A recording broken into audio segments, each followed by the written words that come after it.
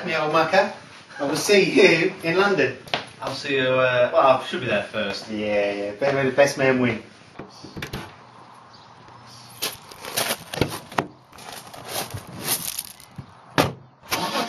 Need to just set off to Leicester Square in the car. I'm just going to finish my cup of tea, get my bike kit on. I should be passing him in about 20 minutes' time.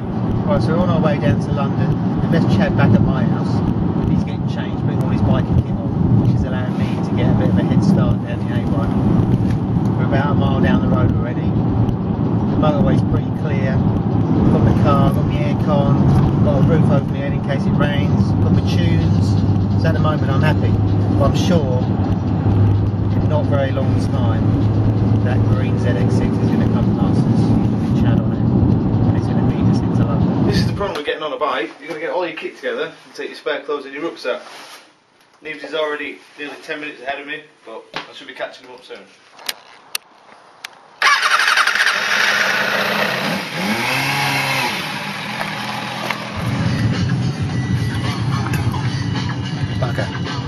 Get our first bit of traffic. 36 miles into the journey, 55 miles to go. Chad still hasn't caught up yet, but it's just a matter of time, isn't it?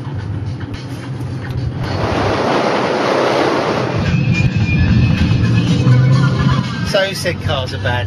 Chad's going down the A1 now, going. We're just sitting back, listening to Prodigy, having a nice time.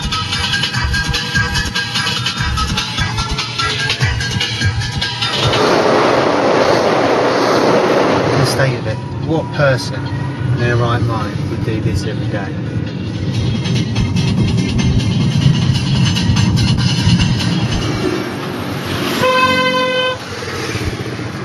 There's a little buggers. Right, 56 miles in, 34 miles to go.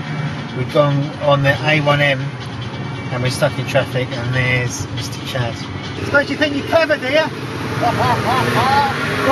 I'll see you in London then.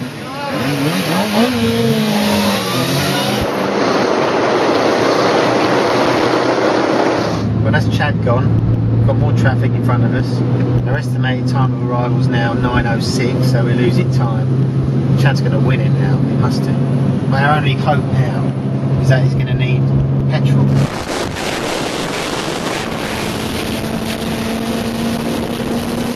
I think uh, leaving at 7 was probably a mistake.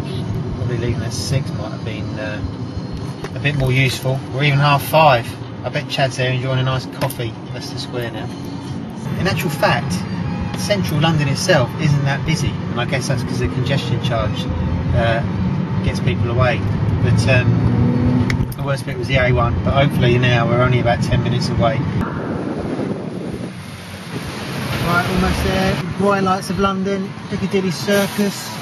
We're just going to uh, shoot down Shaftesbury Avenue park in a car park at Chinatown, which is next to uh, Leicester Square, and then we're going to foot it to Chad.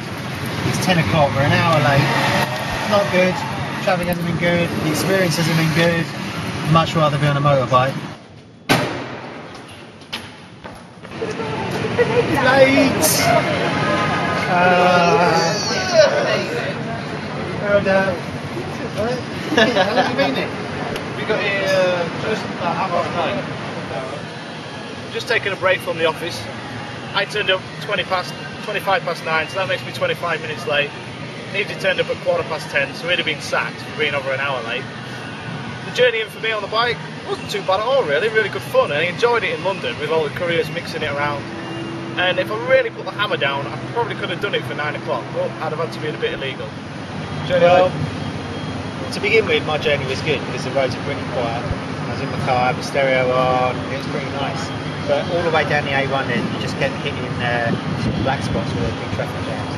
And that's where I think I lost most of my time because surprisingly, when we got into London, in the congestion charge zones, it was actually really clear.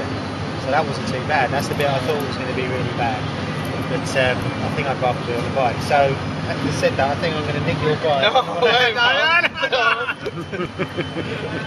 On top of that, Neeves going to pay the congestion charge, eight pound an hour. Eight pound an hour. Yeah. Eight pound an hour parking. Me on the bike, free, as long as you can find a spot. Yeah. You you can take the car. Another three hours for you, mate. I'm going to go on the bike.